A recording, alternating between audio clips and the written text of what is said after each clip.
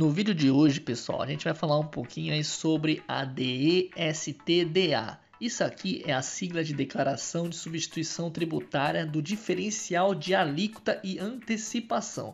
Quer saber um pouquinho mais sobre essa nova obrigação para micro e pequenas empresas do Simples Nacional? Então acompanhe o vídeo de hoje. Você vai ver detalhes do que você precisa saber sobre esse assunto aí tão importante. Mas antes, pessoal, eu peço que vocês inscrevam-se aqui no canal Contabilidade TV. Empreendedorismo, educação financeira e muito mais é aqui no canal. Inscreva-se aí. Curta também a nossa página no Facebook, facebook.com.br contabilidade TV e siga no Instagram, arroba contabilidade Business. Bom, pessoal, sem mais enrolação, bora pro vídeo. Caramba, já tava na hora. Bom, pessoal, empresas que realizam aí, operações interestaduais e que atuam no regime do Simples Nacional vão ter que se adaptar ao DESTDA do Simples Nacional. Essa daí, como eu já disse, é uma nova forma de declarar imposto quando tem substituição tributária, antecipação ou diferencial de alíquotas. Se a sua empresa é optante do regime, então continue vendo este vídeo e você vai saber tudo sobre a DSTDA do Simples Nacional, né? Como eu já disse, a DSTDA é a sigla de Declaração de Substituição Tributária Diferencial de Alíquota e Antecipação. É aí uma nova obrigação para micro e pequenas empresas do Simples Nacional. Essa declaração, pessoal, ela tem a finalidade de simplificar a obrigação tributária de operações interestaduais. Se a empresa for optante do Simples Nacional e fizer operações interestaduais, ela vai ter que fazer o pagamento do ICMS, né, que é esse imposto estadual, em um arquivo digital único que vai ser emitido pelo aplicativo próprio do governo.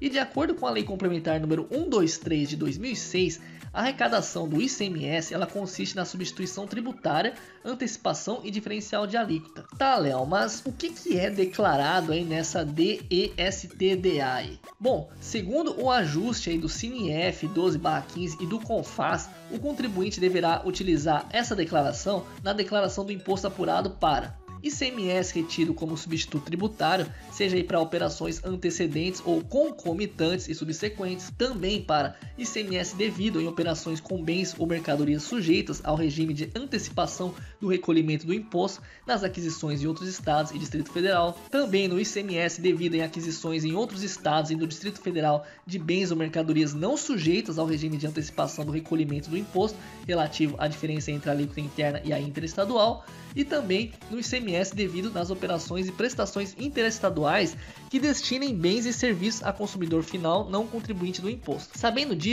vamos ver então aqui quem que precisa declarar é a DSTDA, quem que precisa fazer essa obrigação. Hein? A DSTDA é referente à operação interestaduais de contribuintes atuantes no Simples Nacional, com exceção, né, vale dizer, com exceção dos MEIs, do microempreendedores individuais aí.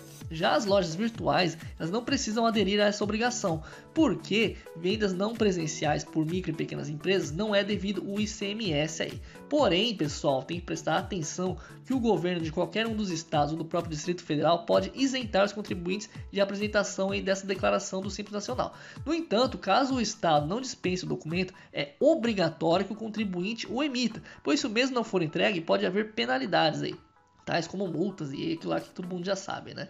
E como que a DSTDA é entregue? Bom, a DSTDA é preenchida pelo aplicativo CDIF SN, que é o Sistema Eletrônico de Documentos e Informações Tributárias do Simples Nacional. Vou deixar o link para download, né, para vocês aí na descrição. Você vai clicar nesse link e você vai cair nesse site aqui, que fala sobre a declaração de substituição tributária e o diferencial de alíquota e antecipação. Aqui você consegue baixar a aplicação e também esclarecer dúvidas aí de acesso ao saque. Basta escolher a unidade da sua federação, né? Tem todos os estados aí. Vamos supor que você clicou aqui, vamos supor em São Paulo, né? Clicou em São Paulo, ele vai abrir um pop-up ali e você consegue ir para o site onde faz o download. Beleza, pessoal? E cada estado aí tem aí o seu software.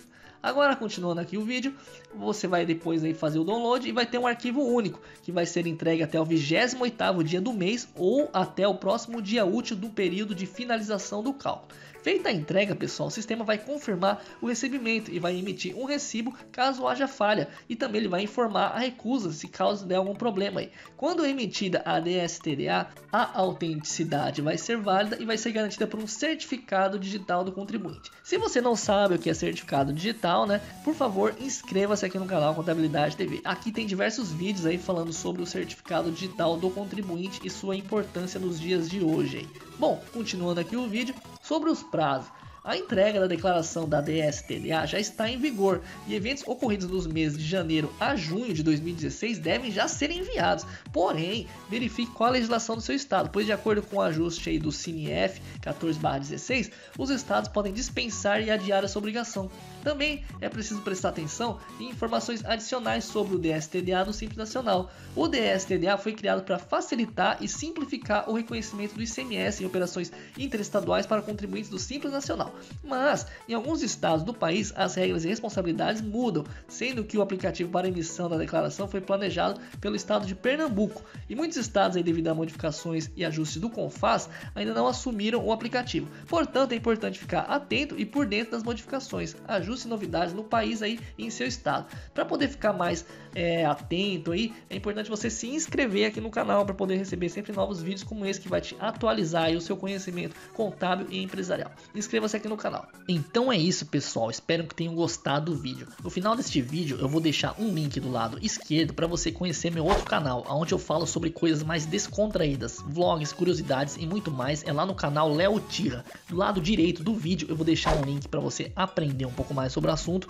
e no canto inferior o link para você poder inscrever-se. Peço também conheçam o canal Opinião Sincera. Vocês que estão aí procurando um automóvel, quer economizar dinheiro para poder comprar aquele carro dos sonhos, conheça lá o canal Opinião Sincera. Tudo sobre automobilismo. Bom, pessoal, muito obrigado quem assistiu o vídeo e até a próxima. Sucesso na sua vida, que Deus te abençoe, pois se Deus não somos ninguém. Você curte carros?